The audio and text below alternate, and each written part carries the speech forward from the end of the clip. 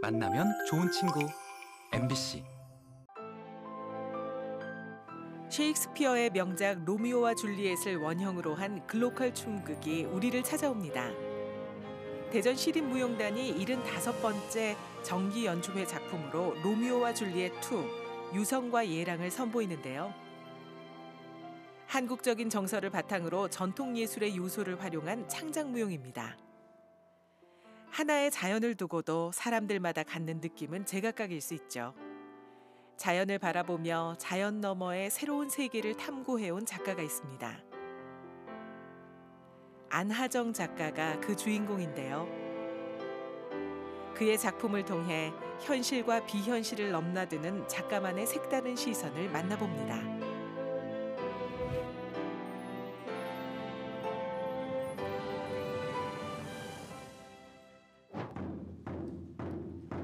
전통과 창작을 아우르는 다양한 레퍼토리로 우리 춤의 대중화에 앞장서 온 대전 시립무용단. 75번째 정기 연주회를 앞두고 공연 연습이 한창입니다. 이번 작품은 불멸의 로맨스, 로미오와 줄리엣을 원형으로 한 유성과 예랑인데요. 작년에 첫 선을 보인 유성과 예랑이 더욱 짜임새 있는 구성과 안무로 다시 돌아왔습니다. 세계 속의 대전, 또 대전 속의 세계를 표방한 그런 작품이라고 할 수 있겠는데요. 어, 섹스피어의 낭만적 비극 로미오와 줄리엣을 한국적 정서로 재해석한 글로컬 춤극이라고 할 수 있겠습니다. 대전 도솔산 아래 조상 대대로 웃다리 풍물을 이어오던 두 가문이 있습니다. 각 마을 수장의 자녀였던 유성과 예랑은 첫눈에 반하게 되고 영원한 사랑을 약속하게 되는데요. 하지만 사소한 사건으로 두 마을은 대립하고 유성과 예랑도 비극적인 운명을 맞이합니다. 네, 세계는 글로컬의 시대라고 할 수 있겠는데요. 이에 우리 대전 시립무용단도 세계적인 대문호 섹스피어의 로미오 줄리엣 글로벌한 작품이죠. 어, 세계적인 작품을 우리 문화유산인 웃다리 풍물과 또 유네스코에 등재된 그 줄타기, 줄다리기를 method로 적극 활용해서 어, 글로벌과 local이 조화를 이루는 어떤 그런 glocal의 어떻게 보면은 예술적 가치를 재창조하는 어떤 그런 glocal 춤극이라고 어, 할 수 있습니다. 극을 이끌어가는 두 주인공의 애절한 사랑 연기가 보는 이들을 매혹시키는데요. 유성역에는 대전 시립무용단의 김임중, 이현수 수석 단원이, 예랑역에는 이지영, 서예린 수석 단원이 각각 더블 캐스팅됐습니다. 유성은 그 장난스러운 모습도 많고 좀 귀엽고 그런 캐릭터입니다. 네, 장난스러움은 이제 겨드랑이 간지 좀더 피우고 뭐 그런 사랑스러운 모습도 있고 그 얘랑이 약물 약물을 마시고 쓰러졌을 때 정말 죽음으로 올인하고 그 가슴 아파하고 그런 애절한 표현 그리고 사랑에 있어서는 정말 책임감 있고 강한 모습을 보여주는 지금 매력적인 캐릭터입니다. 극중 예랑은 남의 시선에 얽매이지 않고 어, 밝고 맑은 캐릭터이며 철없이 보여도 자기 사랑에 대한 확신과 믿음이 있어 그 사랑을 위해 음, 희생하고 또 자신을 내어줄 수 있는 강인한 여성으로 변해가는 사랑스러운 캐릭터입니다. 두 주인공의 아름다운 사랑 이야기를 따라가는 것만으로도 흥미진진한 유성과 예랑. 다채로운 무대 구성으로 우리 춤의 역동성을 아낌없이 보여줍니다.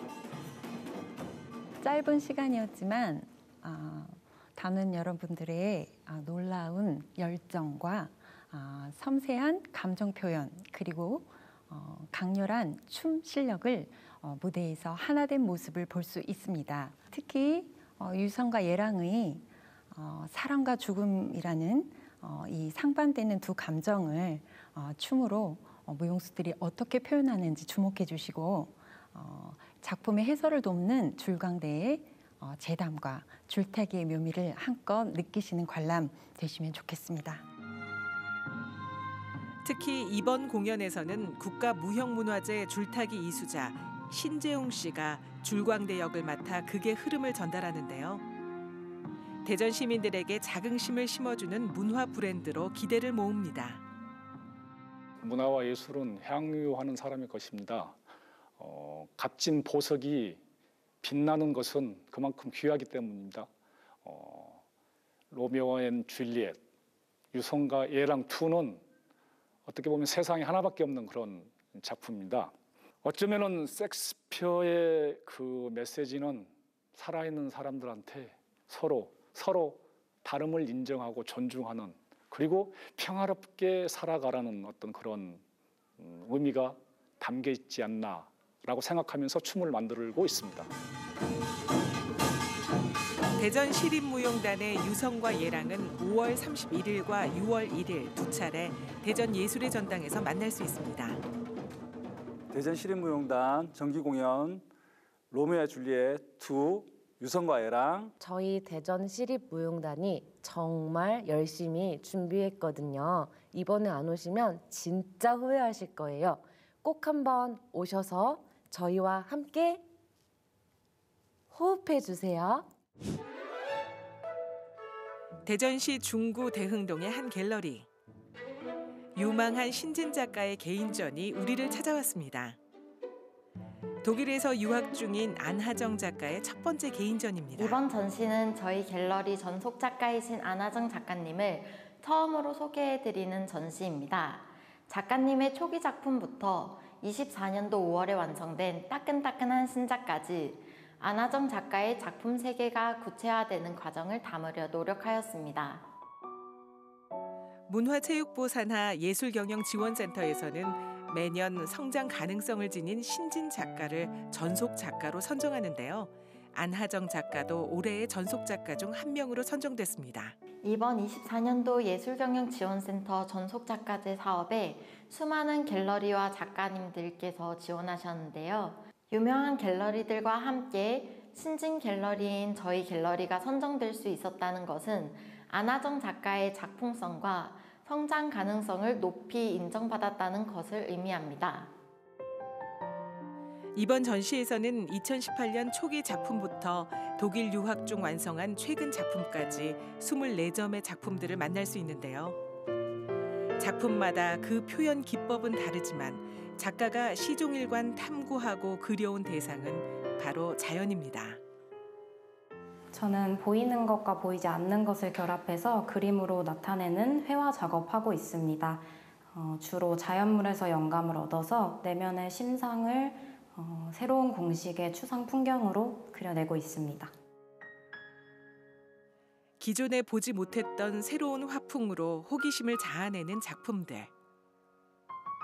멀리서 바라보면 산수화처럼 보이지만 가까이 다가가면 뿌연 배경 위에 겹쳐져 드러나는 타원들이 몽환적인 느낌을 자아냅니다. 안하정 작가의 작품에는 이런 타원들이 자주 등장하는데요. 작가에게 특별한 의미가 있다고 합니다. 그림에 자주 등장하는 타원형의 모양은요, 어, 돌이 구르는 모양을 본따서 그린 것에서 처음 시작했는데요. 관점에 따라서 시면을 들여다보는 구멍, 혹은 풍경이 뭉쳐진 덩어리, 혹은 다른 차원으로 통하는 문이 될 수도 있습니다.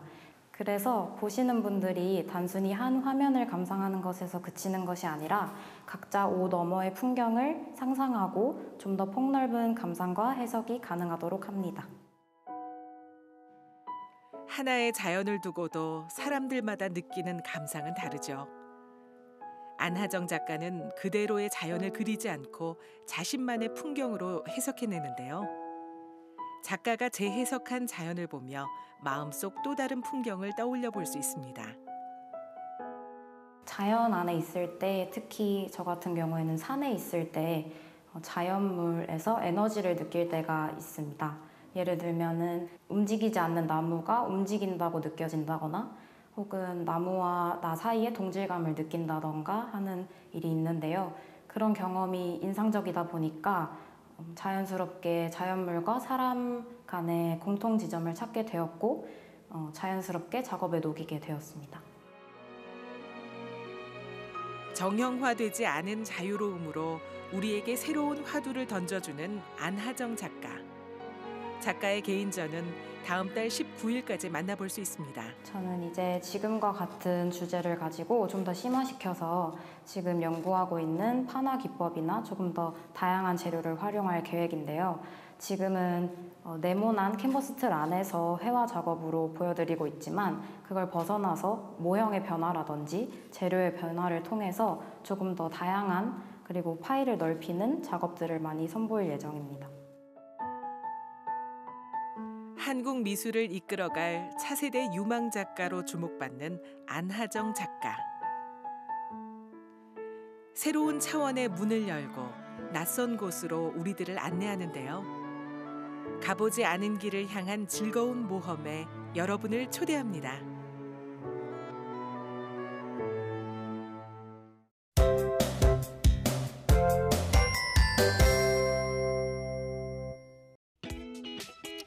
마음 놓고 먹일 수 있는 음식. 눈치 보지 않고 뛰어놀 수 있는 장소. yes kids zone이라 행복해요.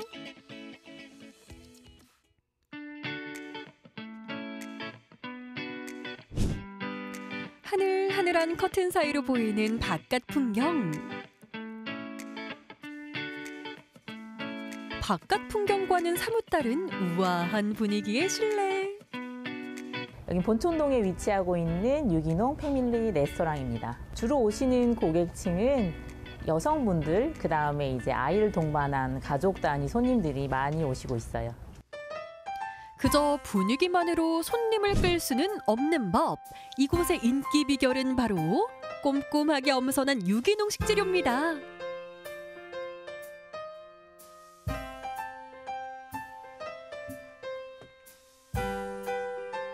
제가 이 아이가 세명인데세 아이를 키우면서 먹거리에 대한 관심이 많았어요. 우리 아이들 가족을 먹인다는 마음으로 좀 편하게 가서 먹을 수 있는 바른 먹거리 식당을 음, 내가 한번 해보면 어떨까 해서 한 10년 전에 이렇게 오픈을 하게 됐습니다.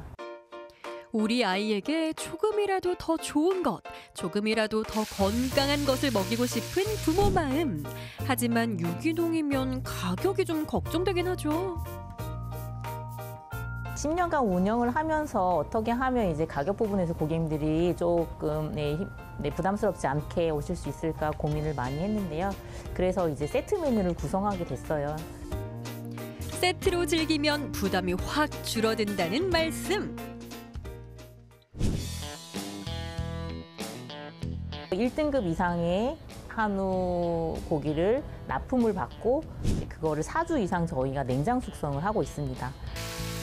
그릴 자국 선명한 두툼한 스테이크. 앞뒤로 먹음직스럽게 구워주고 3일간 정성 들여 만든 수제 스테이크 소스와 함께 세팅하면 한우 채끝 등심 스테이크 완성.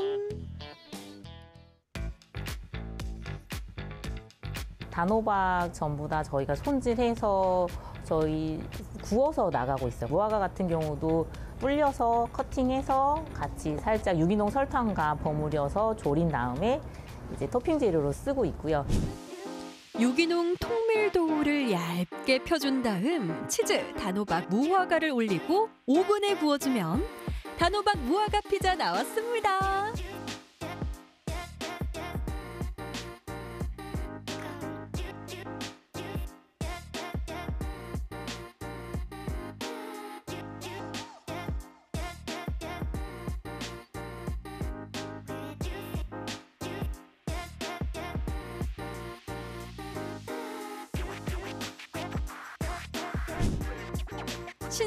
채소와 과일을 아낌없이 넣은 샐러드. 메인으로 넘어가야 되는데 자꾸 손이 가네. 미안하지만 애들은 가라. 매콤한 명란 로제 파스타.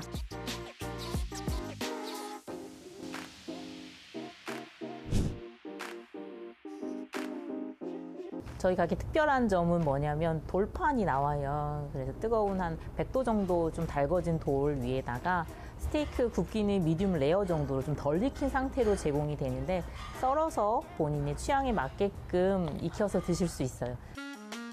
어른들은 살짝만 더, 아이들은 조금 더 익혀서 소스, garnish와 함께 단호박의 건강한 단맛과 톡톡 씹히는 무화과의 식감이 매력적인 단호박 무화과 피자.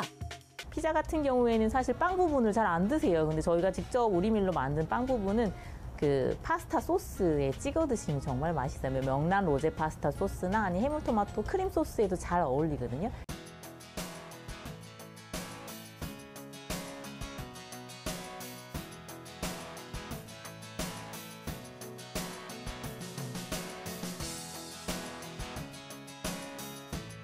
아, 제가 원래 가족들하고 자주 들리는 편인데요. 네, 재료가 유기농 재료잖아요. 그래서 신선하기도 하고 맛도 너무 좋아서 어, 자주 오는 편입니다. 배불리 먹인 우리 아이들 소화를 책임질 키즈 카페와 엄마 아빠에게 자유 시간을 선사하는 one-day class도 운영한대요. 우리 아이들에게 제대로 점수 따고 싶다면 이만한 곳이 없겠죠.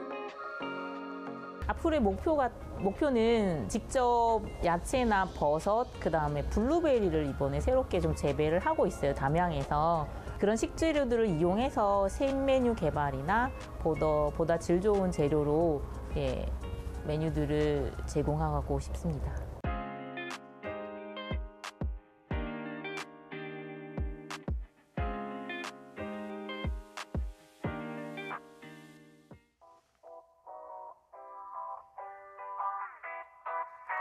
이번엔 어디지?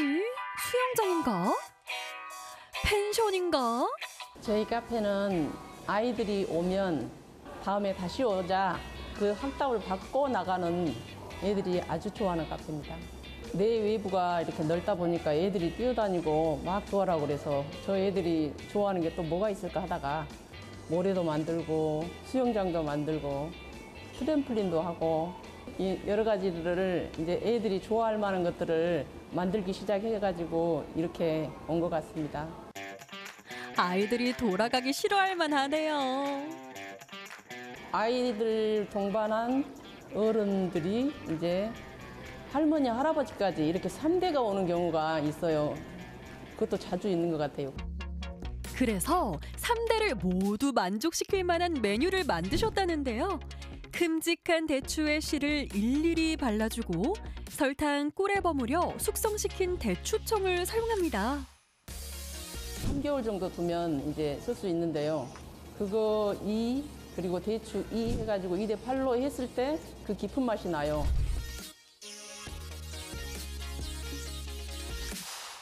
대추청과 생대추를 넣고 한번 끓여준 후 대추 과육을 으깨 진액만을 걸러내는데요. 진액을 한 번 더 고아야 수제 대추차가 완성됩니다.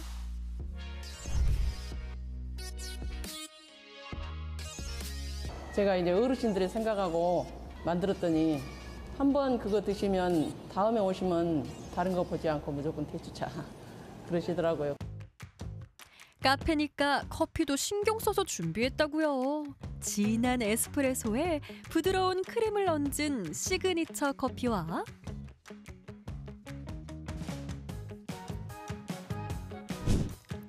남녀노소 모두가 좋아하는 바삭한 크로플.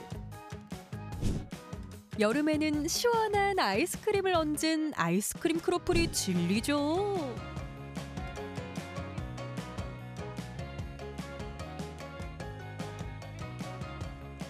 어머, 걸쭉한 것 좀 봐. 이 정도면 약 아닌가요? 아이스크림 녹기 전에 크로플도 먹어주고 음료와 디저트는 뒷전. 이곳저곳을 누비며 즐거워하는 아이들을 보니 역시 오길 잘했다는 생각이 듭니다.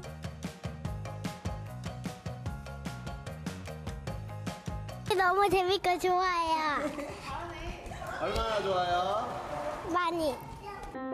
남의 눈치 보지 않고 어른도 아이도 그저 즐기면 되는 곳. 목표는 특별하게 제가 없어요. 그냥 이렇게 가족들이 와서 노는 거 보면 너무 평화로워서 평화로운 모습들을 제가 봐서 너무 좋고 베이커리를 준비 중에 있어요. 그것만 하면 제 눈에는 괜찮을 것 같습니다.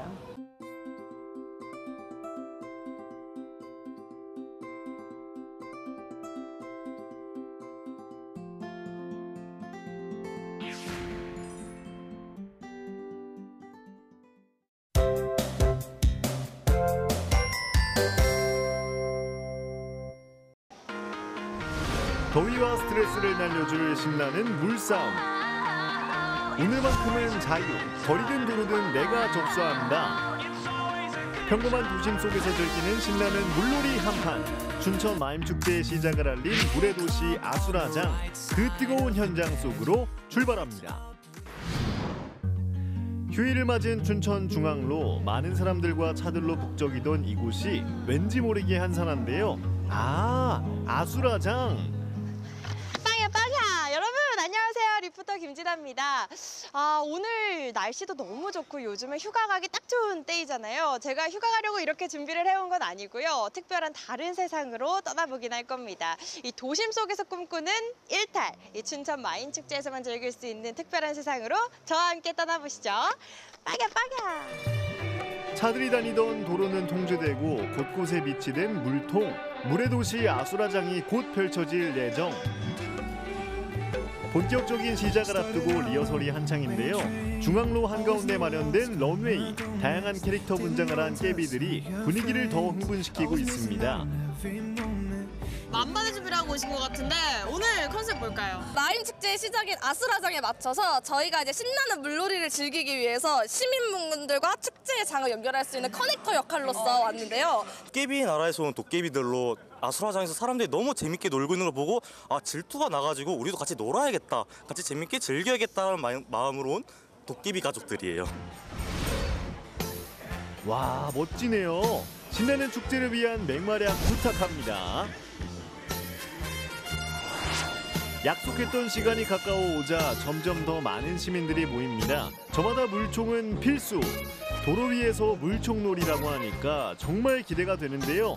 오늘 무대 어떤 주제로 좀 준비를 해주셨을까요? 마임은 춘천의 마음입니다. 네. 오늘은 춘천 마임 축제가 개막하는 날이고요. 춘천의 마음이 열리는 날입니다. 어. 보시다시피 춘천의 도로가 지금 환하게 열려 있고요. 호반의 도시 춘천의 상징인 물이 열리고 춘천의 수문이 열릴 예정입니다. 바로 춘천이 열리는 오늘 이 자리에 모두 함께 해주시죠. 어른들도 설레는 마음은 감출 수가 없습니다. 누가 먼저랄 것도 없이 시작된 물총 싸움.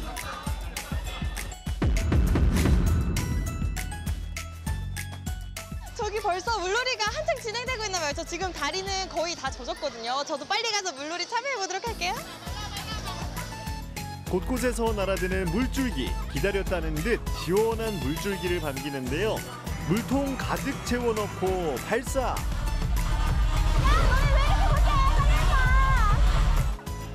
집중 공격받는 진아 씨 옷이 젖으면 젖을수록 더 즐겁습니다 매년 이렇게 나왔는데 딸아이가 클수록 클수록 더 재밌는 것 같아요. 그지?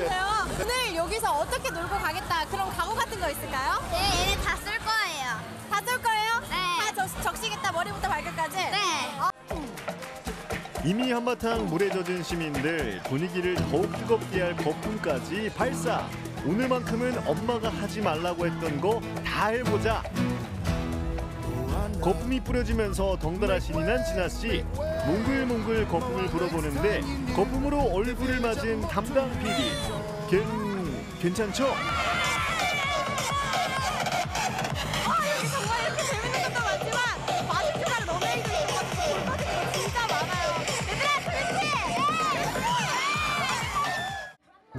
아? 아수라장 같은 분위기 속에서도 곳곳에서 마인 공연이 펼쳐졌는데요.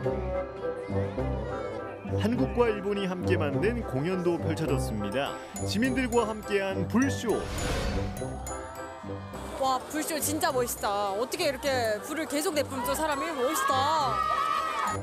다양한 연령대의 시민들은 직접 무대에 올라서 공연과 런웨이를 선보이는데요.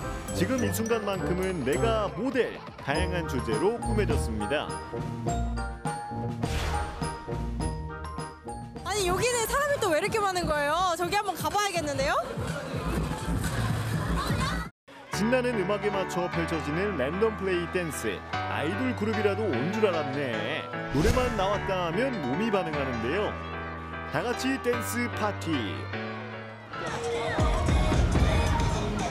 친구들 춤 너무 잘 추던데. 그냥 집에서 핸드폰으로 랜덤 플레이 댄스 해서 그냥 취미 항상 그렇듯이 너무 신나고 완전 스트레스를 날리는 축제예요 여기는.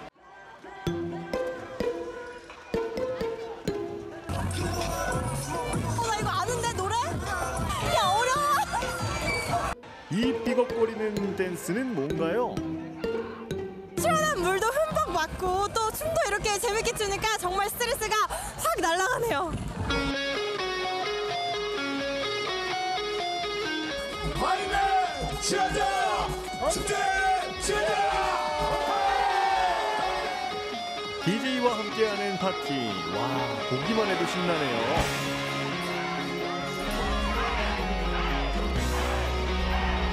도심 전체가 하나 되는 화합의 장이자 다양한 놀이와 공연으로 띠를 발산하는 무대로 변신했습니다. 오늘 이렇게 재밌게 놀아봤는데요. 하루 어땠어요? 남녀여서 막 즐길 수 있고 다 같이 웃으면서 물총 쏠 수 있으니까 너무 즐거워요. 저도 다 같이 이렇게 놀 수 있는 게 너무 재밌었던 것 같아요. 내년에만 또올 거예요? 내년에 또 와가지고 즐기고 싶어요.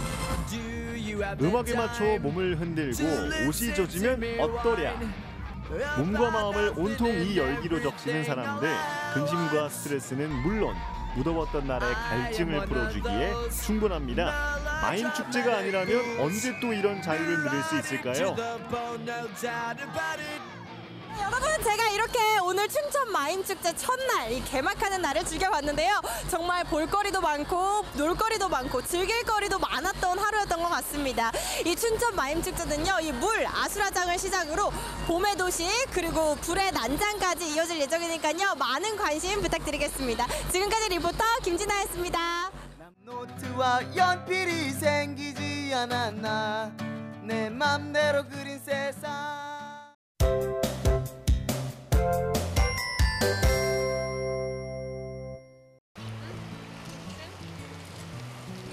바닷가 돌틈 사이사이 가득한 이것의 정체. 플라스틱보다 줄이 너무 많은 것 같아요. 어, 힘들어 죽겠어요. 여러분 플라스틱을 줄여야 합니다. 이거 다 우리가 먹는 거래요. 쓰레기 없고 플라스틱 없는 깨끗한 제주 바다를 꿈꾸며 제로 원정대가 떴습니다.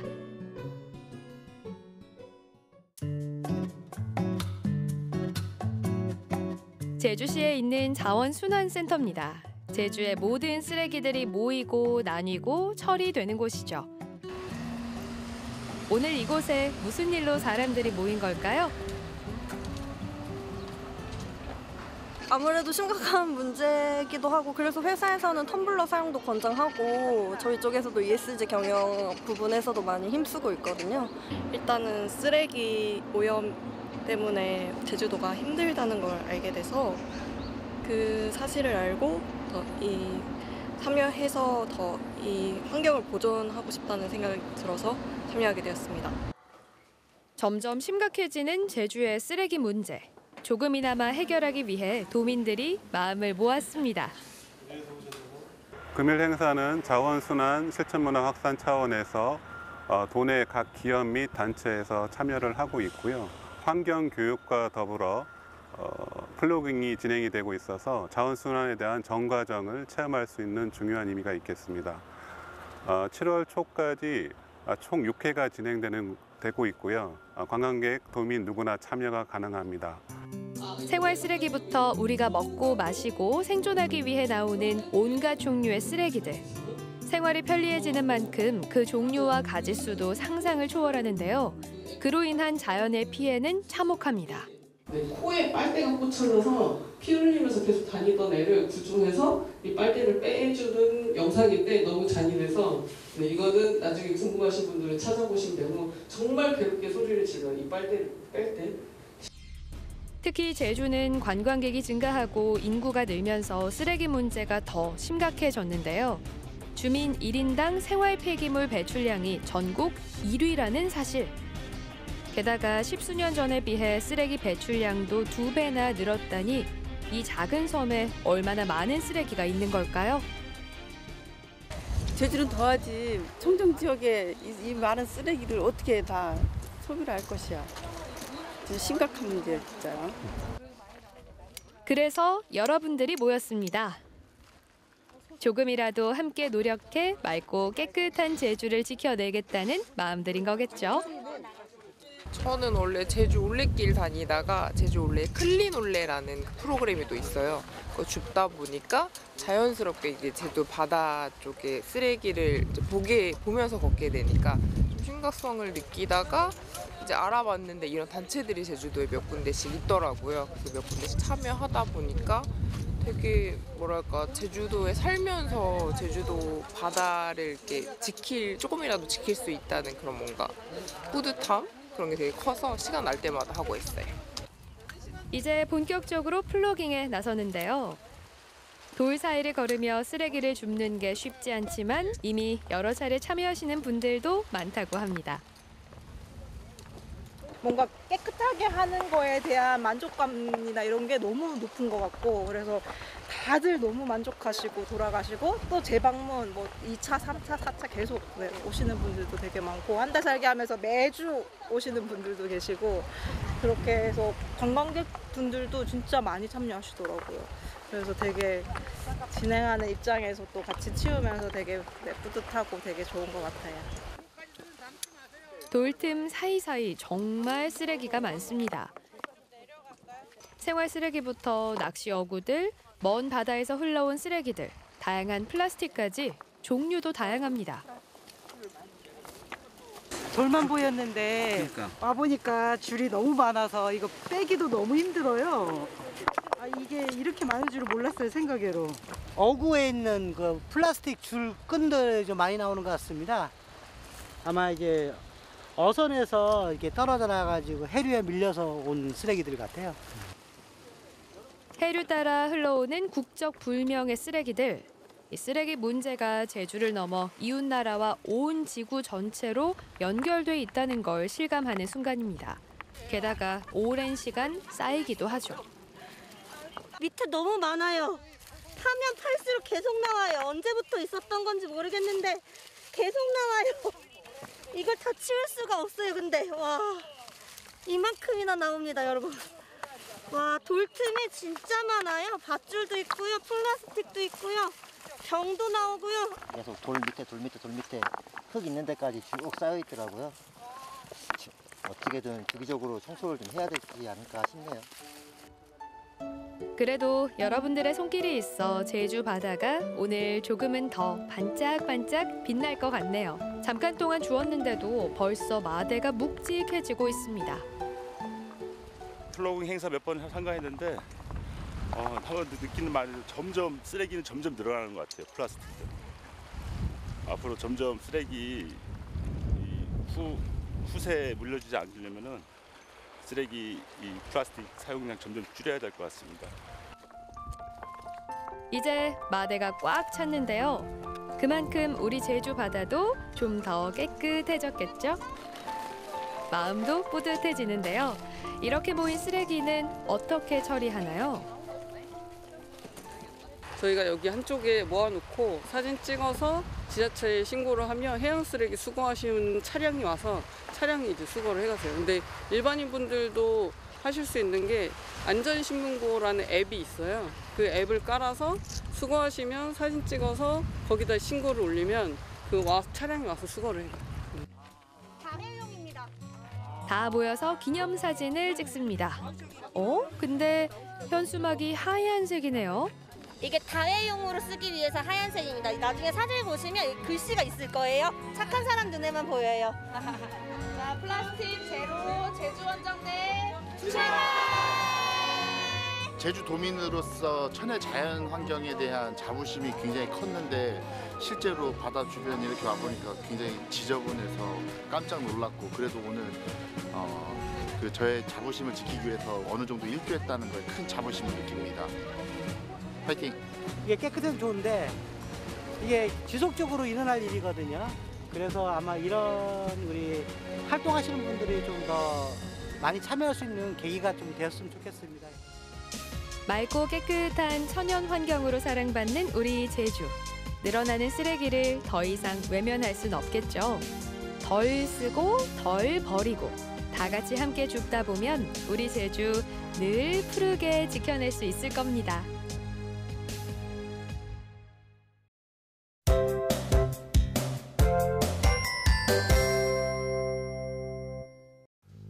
매년 200만 명이 찾아오는 설악산 국립공원.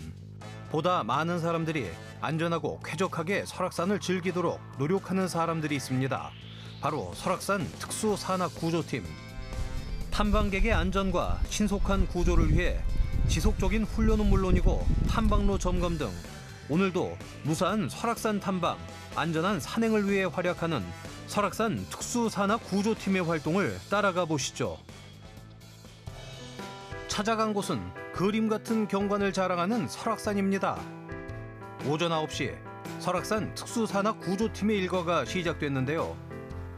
지난 1월 1일부터 설악산에 산악사고를 전담하고 있는 특수산악 구조팀.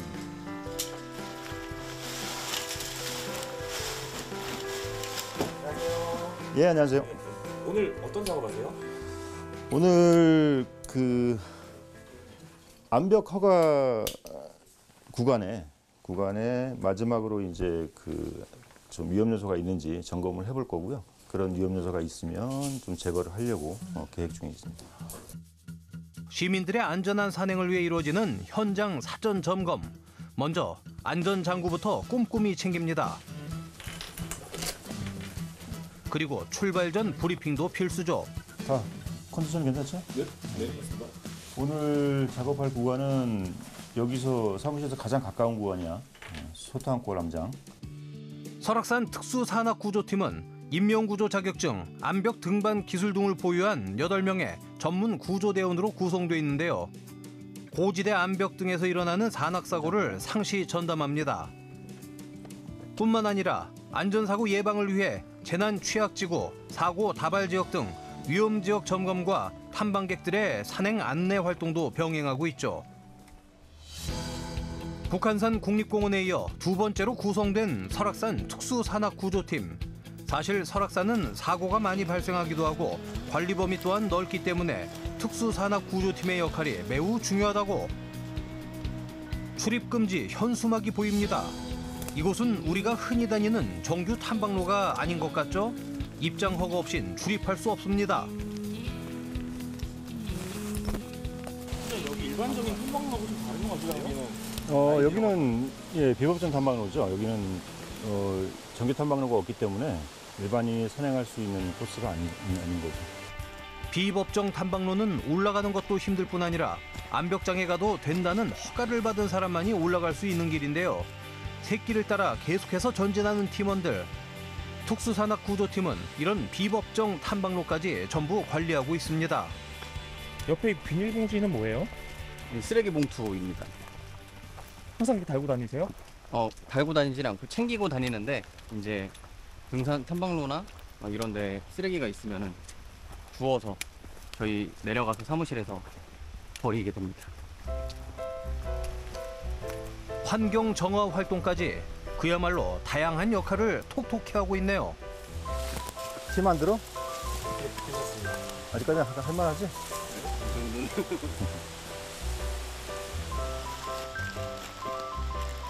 이렇게 큰 가방을 들고 다니세요? 네, 저희는 언제든지 구조 출동할 수 있도록 이런 큰 가방에서 여러 장비들을 가지고 다니고 있습니다. 크기 정도 되죠? 지금은 좀 가볍게 맸는데 한 10kg 내외 정도 지금 메고 있습니다. 무거울 때는 그러면 무거울 때 20kg 넘어갈 때도 있습니다. 제가 1박 2일, 2박 3일 구조를 해야 될 때도 있고 또 여러 작업들이나 고지대 같은 경우에는 여러 상황들이 있기 때문에 그거에 맞춰서 장비들을 준비하고 있습니다. 언제 어떤 순간과 마주칠지 모르니 철저한 준비 끝에 산에 오르는 대원들. 때마침 나무에서 한창 작업 중인 대원들이 보입니다. 네, 뭐 안개 꼈거나 눈이 많이 왔을 때 길을 못 찾거든요. 그, 그 탐방객들이 혹시 길을 잃을까봐 안전사고 예방을 위해서 설치하는 겁니다. 뭐 특히 야간에 이렇게 불빛이 이게 반사가 되어갖고 눈에 확 시인성이 진짜 좋습니다. 그래서 항상 이 갈림길에서는 내가 이걸 인식하잖아. 그러면 다음 방향을 볼 수 있게끔 저기 다 바로 보이지, 그지? 네. 어, 그렇게 표시해줘야 돼. 혹시 있을지 모를 조난 사고에도 철저히 대비하는데요. 든든합니다. 목적지를 향해 계속해서 올라가는데요. 결코 만만치 않은 작업입니다. 도착 무렵 뭔가를 발견하고 다시 또 걸음을 멈춘 대원들.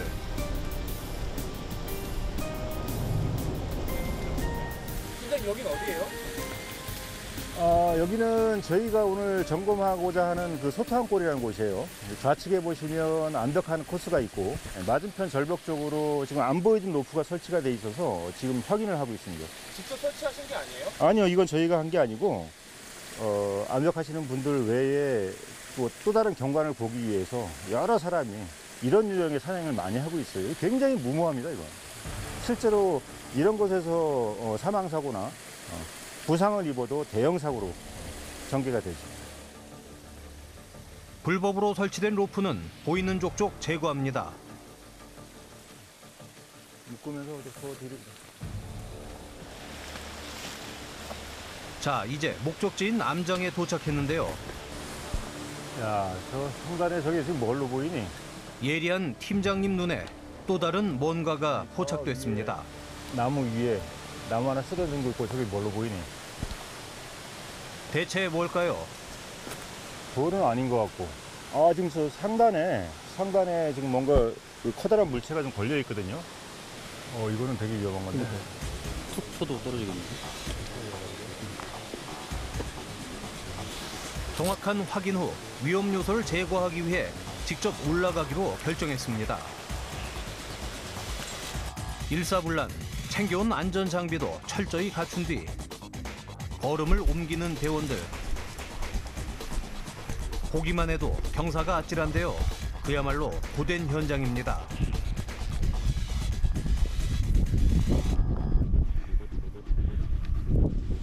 평소에도 이런 작업이 많나요? 어, 평소에도 이런 작업 많이, 많이 하고 있어요. 설악산 바위가 사람으로 따지면 완전 노년기에 접어들어서 어, 그 낙석이나 이런 것들이 굉장히 많이 발생이 되고 있고요. 여기죠. 문제의 현장에 접근하기 위해선 거의 90도 수직으로 자리한 암벽을 딛고 이동해야 하는데요. 네, 접근하겠습니다. 하가. 바로 옆은 천길 낭떠러지 사고 예방이 우선이다 보니 위험도 마다하지 않습니다. 지켜보는 대원들도 초긴장 상태. 어, 많이 긴장되죠. 어, 작업을 하다가 그 잘못 건드려서 아랫 부분을 건드리게 되면 위에가 쏟아지게 되거든요. 네, 그래서 굉장히 좀 신경이 많이 쓰입니다. 어, 안전하게 잘 작업하셨으면 좋겠다.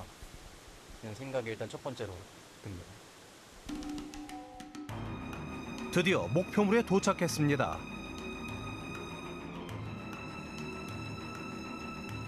이리저리 흔들어 보지만 쉽지 않은데요.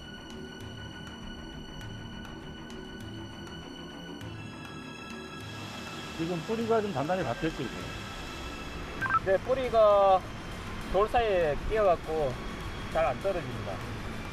자, 그러면 일단은 내일 작업하게 설치하세요. 오늘은 작업이 좀 힘들 것 같나요? 예, 예. 그 상태에서는 뭐 아무리 힘들어 봐야 안 나올 것 같고 내일 장비 좀 챙겨서 작업을 해야 될 것 같아요. 대원들의 안전 역시 중요하기에 추가 장비를 갖춰 내일 다시 작업하기로 결정하는데요. 암장을 향해 하강하던 중 또 다른 상황과 맞닥뜨립니다. 이쪽으로 오시죠. 저 멀리 보이는 낯선 정체. 국립공원 직원이고요. 지금 선생님 저기 출입금지 위반하셨어요. 허가받지 않고 비법정 탐방로를 등반할 경우 과태료가 부과됩니다. 이런 상황에 처할 때마다 안타깝다는데요. 산이 좋아서 이렇게 산을 다니는 거는 충분히 공감을 하고 이해를 하지만 무리해서 그 출입금지 구역에 어, 들어가는 산행은 절대로 좀 하지 않았으면 하는 바람입니다. 과태료가 얼마인가요? 20만 원입니다. 그 사이 안전하게 팀으로 복귀한 대원들 가까이에서 촬영한 현장 상황을 전해줍니다. 이쪽으로 박혀 있습니다. 엉겨붙은 나무 뿌리가 위험천만하게 노출돼 있는데요. 상황이 좀 어땠어요? 원래 아마 눈이 많이 와서 그 서대목 그 눈물에 내왔을 때 쓰러진 것 같아요. 사실 사고는 단순히 산이 높고 지형이 험난해 발생하는 것이 아닙니다.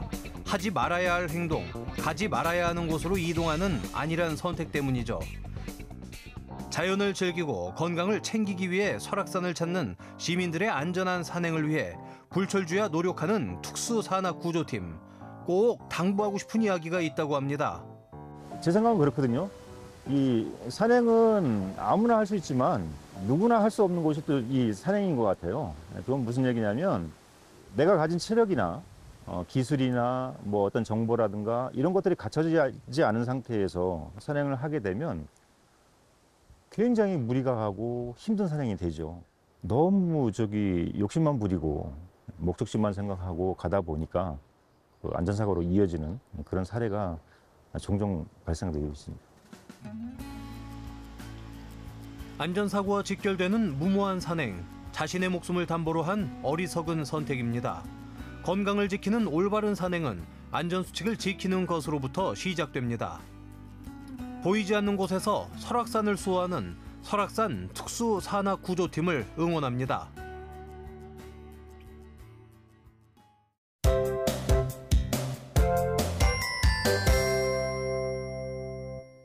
사실은 저희들이 10년을 꿈꿔왔어요. 피아노와 해변. 왠지 어울리지 않는 이 낯선 조합은 평범한 남쪽 섬을 세상에 하나뿐인 특별한 섬으로 만들었습니다. 제가 여쭤봤어요. 피아노 섬을 왜 그렇게 하시려고 합니까? 그랬더니 첫 마디가 우리 섬 주민들의 자긍심을 높이기 위해서 하는 겁니다. 그러더라고요.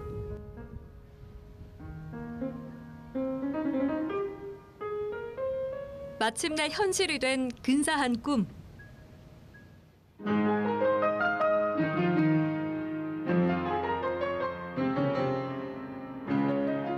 그 꿈 이름은 아름다운 피아노섬 자운도입니다. 10년 동안 꿈꿔온 피아노의 섬 자은도. 섬 전체가 음악으로 물든 낭만 가득한 시간 속으로 여러분을 초대합니다.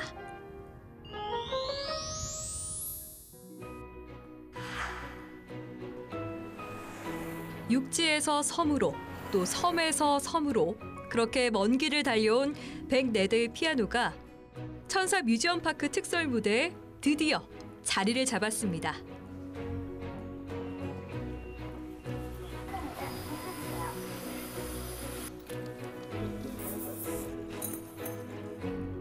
지금 우리 신안군에 피아노 다 모아도 20대도 안 돼요. 그러면 100 플러스 4대를 어디서 가져왔느냐?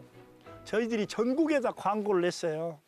피아노를 잠시 빌려주실 분, 기증하실 분, 광주, 목포, 서울, 전주, 또 부산, 여수 뭐 전국에 있는 분들이 100 플러스 4대를 그렇게 모으게 된 겁니다. 100 플러스 4대는 1004개의 섬으로 이루어진 친화를 상징하는 숫자.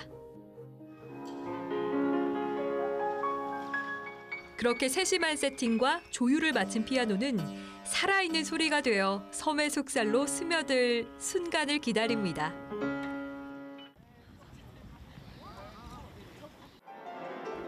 (104대의) 피아노 그리고 (104명의) 피아니스트가 합동으로 연주하는 특별한 공연 이 프로젝트를 맡은 작곡가 겸 피아니스트 임동창 총예술감독의 지휘 아래 본격적인 리허설이 시작됐습니다.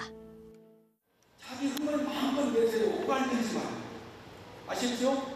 네, 자기 흥을 크게 치고 싶으면 막 치고, 작게 치고 싶으면 작게 치고, 그래서 얼굴 다르듯이 전부 다른 그런 음악이 104개가 합쳐져서 아름다운 앙상블이 돼. 아시죠? 네. 어떻게 해야 될까? 제일 중요한 게 자은도가 피아노 섬이거든요. 그래서 어, 자은도와 자은도에 사는 주민이 피아노 섬의 주인이다. 이게 제일 중요한 그 베이스고 그 위에 이제 무대에서의 주인공은 104명의 피아니스트. 그리고 이제 게스트를 우리가 잘 모셔서 조화롭게 공연하는 것. 이렇게 제가 중요성을 잡았죠. 작년에 처음 열린 축제 대규모 피아노 오케스트라의 화려한 연주는 단연 큰 화제를 모았습니다. 프랑스 북쪽에 있는 도시인데 그 도시가 8월 한 달 동안 피아노 축제를 한대요. 그러면 우리 섬에 딱 맞는 아이템이다. 그리고 10년을 준비했어요. 금년에 이제 두 번째 피아노 축제를 개최하게 됐죠. 그래서 아마 전 세계적으로 피아노 도시, 피아노 마을은 있지만 피아노 섬은 우리 한국의 자원도가 처음이 아닌가 이렇게 생각을 합니다. 사실 연주자들에게도 이번 공연은 특별한 경험인데요. 사실 이런 기회가 있기 전까지는 사실 저희는 경쟁자들이었죠. 대회에 나가서 서로가 서로를 뛰어넘어야 하는. 근데 이렇게 피아노라는 주제를 가지고 모여서 한 마음으로 음악을 만드는 기회가 이렇게 흔치는 않아서 저희도 되게 즐겁게 참여하고 있습니다. 임동찬 감독 역시 이 프로젝트에 많은 열정을 쏟았습니다. 하기로 결정한 후에 바로 와서 이제 공부를 했어요. 첫째는 자은도라는 섬에 대한 어떤 자연 환경, 바다, 모래, 뻘, 막 이런 바람, 뭐 구름 그렇게 쭉 느끼면서 바다가 앞에 툭 트여 있으니까 안에 있는 어떤 그 보석 같은 게 편안하게 이렇게 쏟아져 나오는 그런 느낌. 그래서 참 작업이 잘 돼요. 사실 음악이라는 게 사람이 만드는 거기도 하지만 바람이 불면 나뭇가지들이 스치는 소리가 다 노래잖아요. 저한테 위안을 주듯이 그런 데서 영감을 받아서 만들어진 게 또 음악이거든요. 그래서 이렇게 자연에 가까운 곳에서 호흡하면서 연주할 때 조금 더 마음이 좀 따뜻해지고 더 집중을 잘 하게 되는 그런 부분이 또 있습니다. 한편 피아노의 섬 축제와 함께 사람들의 오감을 자극하는 또 다른 축제. 신안 세계 김밥 페스타도 마련됐습니다. 최근에 미국에서 냉동 김밥이 예, 선풍적인 인기를 끌고 있지 않습니까? 예, 우리 신안은 청정 해역에서 제일 좋은 김도 생산을 하고 있고요. 또 친환경 쌀은 전남에서 가장 넓은 면적을 재배를 하고 있습니다. 예, 그래서 이 김밥 페스타를 개최함으로써 예, 줄어들고 있는 쌀 소비량도 늘리고 또 우리 신안군의 우수한 예, 농수산물을 세계적으로 예, 알림으로써 예, 지역 경제에 예, 도움을 줄 수 있겠다 싶어서 작년부터 김밥 페스타를 개최하고 있습니다. 예, 김밥 경연에서 예, 수상한 김밥을 가지고 신안 김밥이라는 이름으로 예, 전국에 6천여 개가 넘는 예, 편의점에서 판매를 할 예정입니다. 예, 그래서 예, 어느 때보다 경연이 뜨거울 것으로 예, 그렇게 예상하고 있습니다. 공연이 얼마 남지 않은 시간. 관객들이 입장하기 시작하고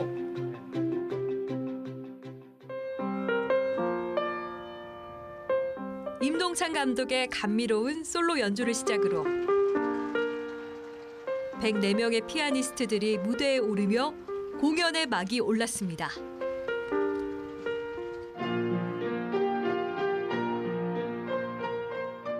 마음으로 그려내는 피아노 선율이 섬의 파도를 타고 봄바람을 안고 잔잔하면서도 웅장하게 울려 퍼집니다.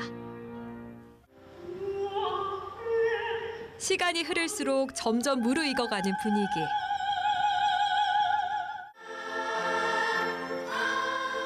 자은초등학교 학생들의 특별 무대부터 다양한 장르의 거장들과 함께하는 무대까지 최고의 음악으로 관객들의 눈과 귀를 사로잡는데요.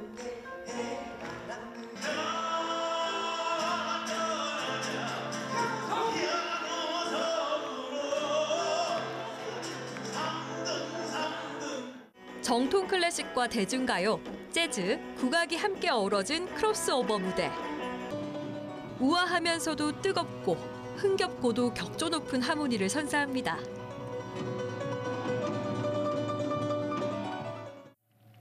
그리고 마지막 데뷔를 장식할 하이라이트. 아리랑 연주에 맞춰 관객들과 함께 즐기는 시간. 그야말로 음악으로 하나 되는 순간입니다.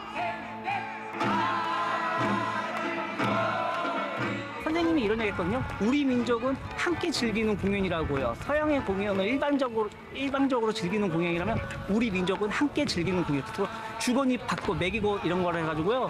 그냥 같이 즐기면 될 것 같은데요. 10년을 기다려 완성된 꿈. 피아노의 섬 자은도. 피아노의 섬은 앞으로 계속 될 겁니다. 그뿐만 아니라 아시아에서 지금 개최되는 그 세계 그 피아노 조율사 대회도 2026년에 이 자원도에서 개최를 합니다. 그래서 그런 피아노와 관련된 그런 많은 사람들이 찾아오는 그런 곳으로 저희들이 지속적으로 프로그램 또 행사 이런 것들 진행할 나갈 계획입니다.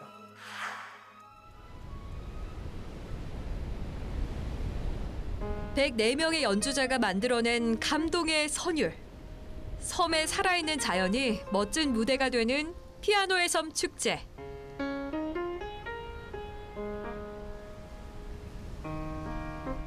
클래식이 낯선 섬 주민들에겐 꿈 같은 시간을, 무대에 오른 연주자들에겐 다시 없을 특별한 경험을, 또 음악을 사랑하는 관객들에겐 최고의 공연을 선사했습니다. 자연과 음악이 하나 되고 보는 즐거움과 듣는 즐거움을 느낄 수 있는 곳. 함께하는 모두가 주인공이 되는 피아노의 섬 자은도의 다음 이야기가 벌써 기다려집니다.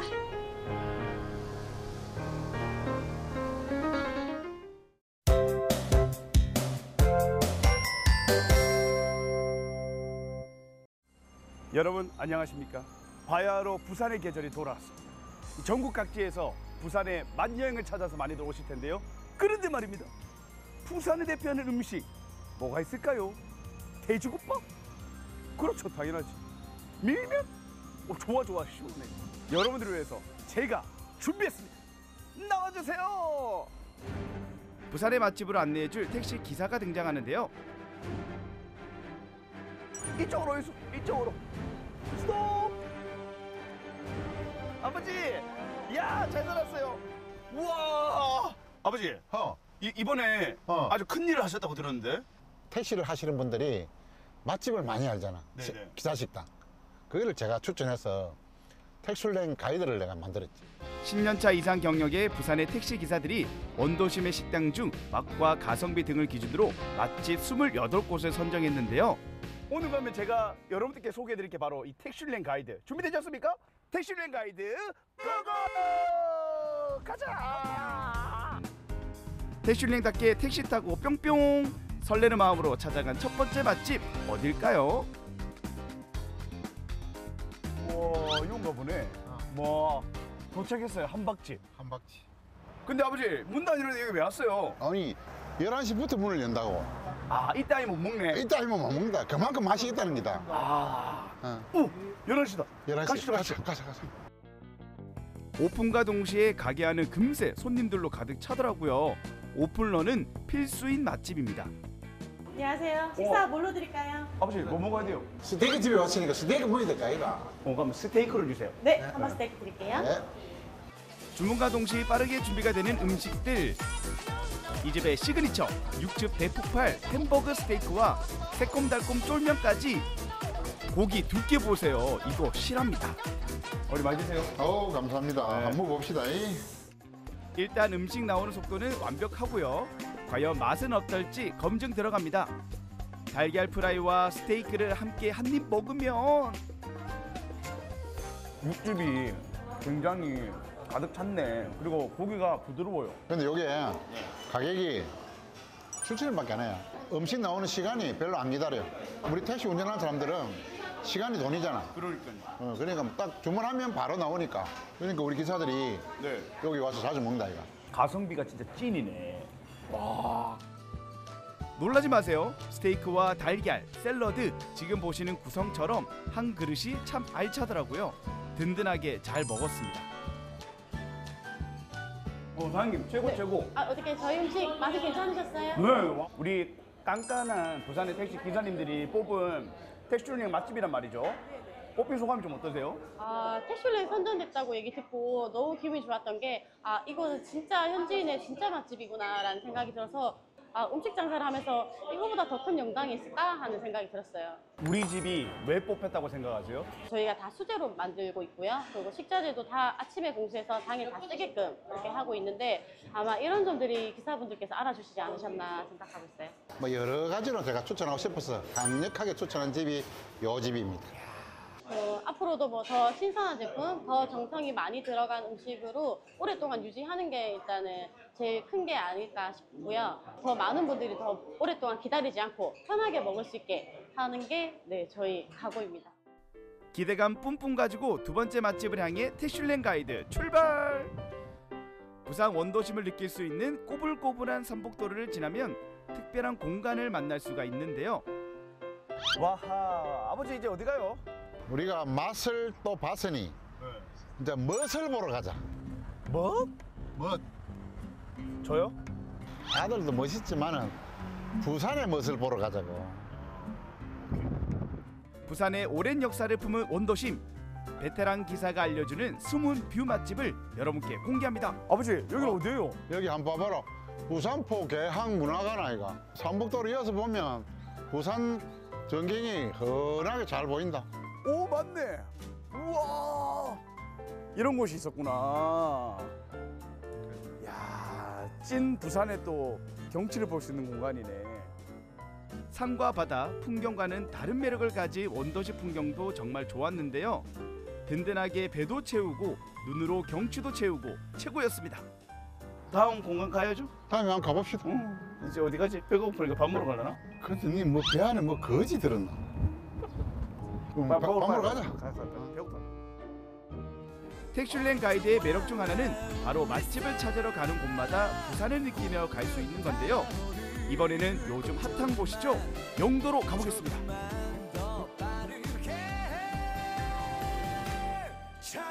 이가 뭐가 있다는 거지? 오, 저거네. 우와, 덩치 대박이다. 맛만 중요한 것이 아니다. 그럼요. 분위기도 좋고 환경도 좋고 서비스도 좋고 모든 게 다 좋아야만 태술령에 선정이 되는 집이라. 와, 좋네 경치. 주문하시겠습니까? 오, 예. 안녕하세요. 아, 근데 우리 뭐 먹어야 돼요? 이 집에서 최고 맛있던 거. 뭔데요? 낙지 볶음. 낙지볶음? 그럼. 그럼 일단 낙지볶음 주시겠어요? 네, 준비해드리겠습니다. 네.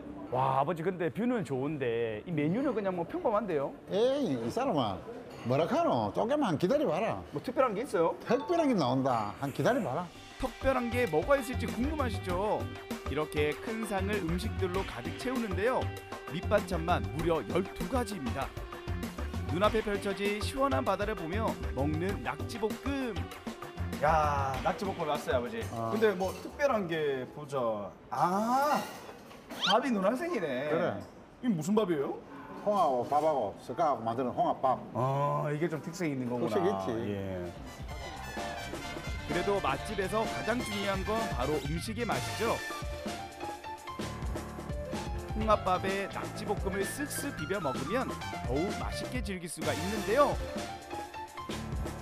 음, 바로 이 맛 아니겠습니까? 맛이 진짜 신선하고 매콤하니 정말 먹을만하네. 맵기가 딱 적당해서 먹기가 편하네요. 아이들이 참 좋아하겠다. 일단 외국인들이 딱 맞춘 그 정도 맵기네. 와, 정말 맛있다. 맛있대? 식사를 맛있게 하셨어요? 오, 아유. 최고 최고. 맛도 맛이지만 반찬이 왜 이렇게 많아요? 이 낙지 요리와 한정식을 조금 접목해서 만들어 보자 생각을 해서 만든 상입니다. 야, 그럼 태슐랭 맛집을 뽑힐만 하네. 제가 멋지게 뽑았지. 예, 아니 그 이렇게 태슐 맛집으로 선정되셨는데 기분이 좀 어떠세요? 또 저희 매장을 뽑아주셔서 정말 영광이고 앞으로 더 맛있는 음식을 만들 수 있게끔 더 노력하겠습니다. 아이고 고맙습니다. 여기 부산에 오셔가지고 맛있는 낙지도 드시고 시원한 바다뷰를 보면서 어? 다 같이 힐링하는 시간을 가졌으면 좋겠습니다. 택슐랭 가이드 여러분 잘 따라오고 계시죠? 영도의 맛을 봤으니 이번에는 영도의 멋을 볼 차례입니다. 어, 자문아.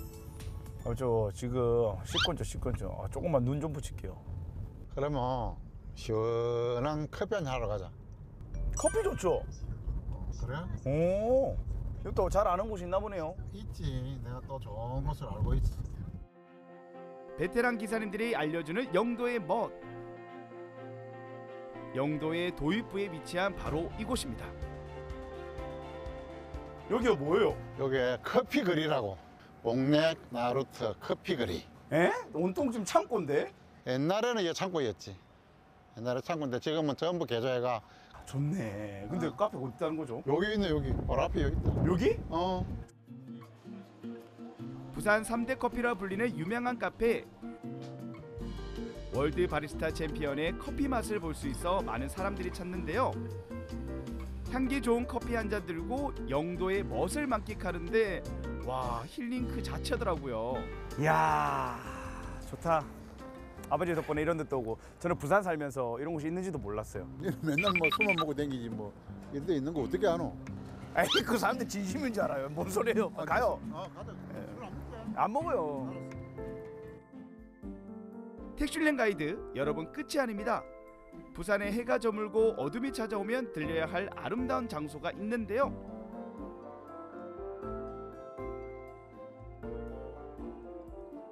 아 좋아 배도 부르고 어, 산책하니까 너무 좋다 아버지 택슐랭 최고 최고 근데 여기는 뭐 있어요? 효계는 딱 한 봐봐라. 야경 보러 왔다 야경. 에? 야경요? 그럼. 택슐랭 가이드 마무리는 바로 부산의 야경입니다. 일몰 후 밤 11시까지 바다를 밝히는 부산항대교를 볼 수 있는 건데요. 와 정말 예쁘죠? 와 아버지 이렇게 마지막까지 배도 든든하게 채워주고 눈까지 즐겁게 해주고 너무나 감사합니다. 어라. 예. 택슐랭 구경 많이 온나? 내년에는 또 좋은 곳으로 모시도록 하겠습니다. 택슐랭 가이드 많이 사랑해 주시고요. 저희는 여기서 가도록 하겠습니다. 택슐랭 가이드 빵빵 빵빵빵빵. 여러분은 어떠셨어요? 베테랑 택시 기사가 알려주는 부산의 또 다른 매력들. 부산의 맛과 멋을 택슐랭 가이드로 만나보시기 바랍니다.